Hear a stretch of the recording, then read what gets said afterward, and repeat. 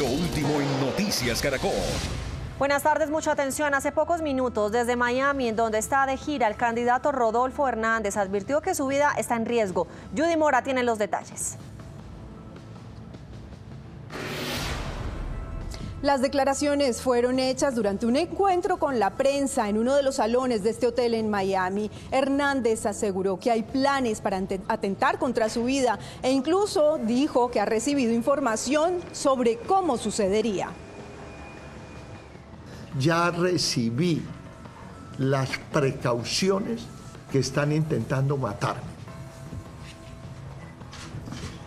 Y esa matada no es a plomo esa matada será a cuchillo.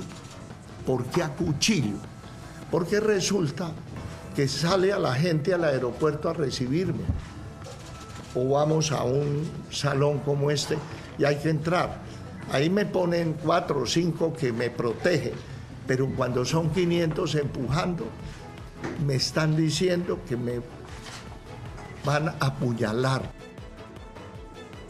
Incluso el candidato Hernández aseguró que ante el riesgo por su vida cancelará todos los eventos públicos en Colombia a través de un trino, señaló. Por mi seguridad y para garantizar la posibilidad de una elección democrática este 19 de junio, he tomado la decisión de cancelar todas mis apariciones públicas de aquí a las elecciones. Nosotros volveremos más adelante con el desarrollo de la visita del candidato presidencial Rodolfo Hernández aquí a la ciudad de Miami.